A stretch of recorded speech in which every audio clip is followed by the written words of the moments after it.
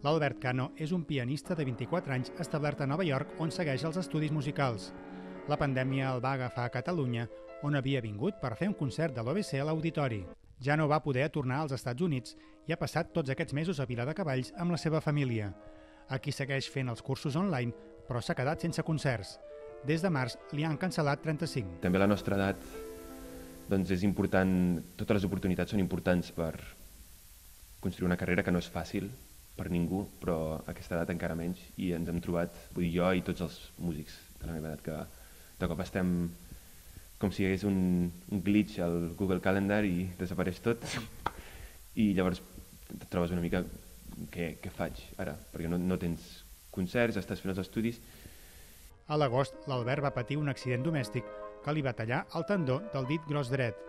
El van haver d'operar i ara fa rehabilitació amb treball de teràpia cada dues hores. En té ben bé per tres mesos per estar al 100%.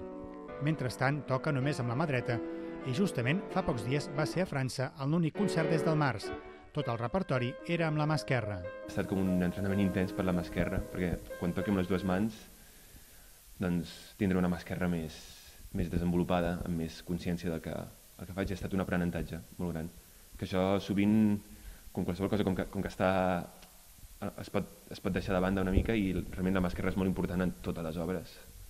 Toquis el que toquis, sigui Rachmaninoff o Schubert o Bach, i, i això està molt bé. Cano té previst tornar als Estats Units a finals de desembre per reprendre els estudis presencials al segon trimestre i continuar allà la seva carrera professional.